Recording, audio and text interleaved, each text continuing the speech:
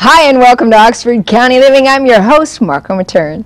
On Tuesday, students in the CHEF program, also known as Culinary Hospitality Enriches Futures program at College Avenue Secondary School, got a special treat from the Food Network's Anna Olson.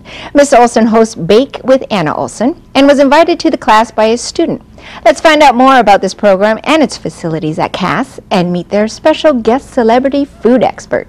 CAS Chef, uh, College Ave Secondary School Culinary and Hospitality Enriches Futures, is a program that's been around for four years now. This is our fourth year.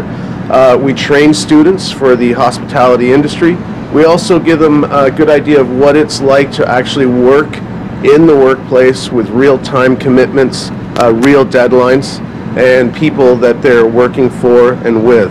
Uh, they delegate to each other, and of course, they end up serving uh, the public, customers, uh, um, you know, all around the community. Uh, right now, we're working on our uh, Christmas turkey dinners. Uh, we'll be doing uh, an event for 100 people. Another one, we're doing the Walmart uh, staff appreciation dinner for 150.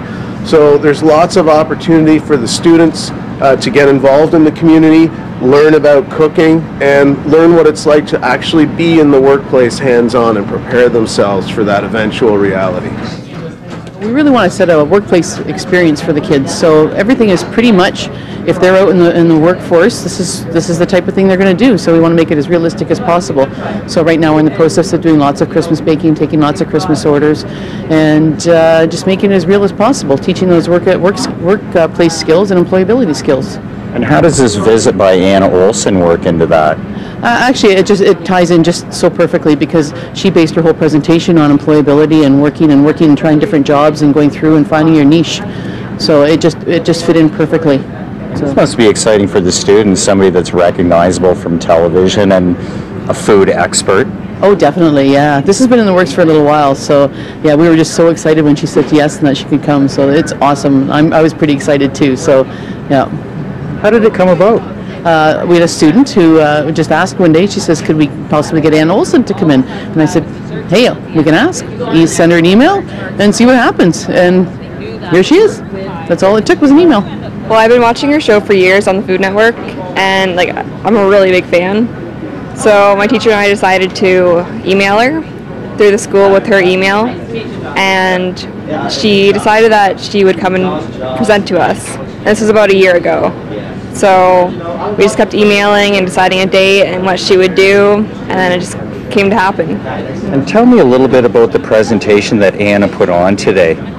Well, we went in our blue room at CAS, and she put on a slideshow about what, how she started baking and her decisions through life and how she came to be. And then we walked down to the kitchen, and we made butter tarts. We had stuff prepared for her, so then we could roll them out and put them in the pan and just she could do her thing. So it was good. I'm here at College Avenue Secondary School speaking with the culinary students about the career path uh, to becoming a chef, what options are available, what not to get frustrated about, what to look for, and how each of these students can independently plot and plan their own culinary career. While you were here, did you learn a little bit about the program that they're offering here at CAS, and, and what do you think of it? It's fantastic to be here and see the facilities, uh, which are based on a commercial kitchen. So what's great is these students are working with the real tools that if they go into the industry, whether starting as an after-school job or pursuing it professionally, they're going to have experience um, in the field and starting here at the high school level. Today I started things off with a slideshow presentation showing how uh, I didn't know I wanted to be a chef right out of school but how it laid itself out, my career path, uh, some of the stepping stones, but also obstacles that I came across on the way. And then, of course, we wrap things up here in the kitchen with a little hands on demo because it's always good to get some of those cooking and baking tips out there. So you think that this is a good career path for a lot of these kids here today? Well, the culinary profession is probably the second oldest profession out there.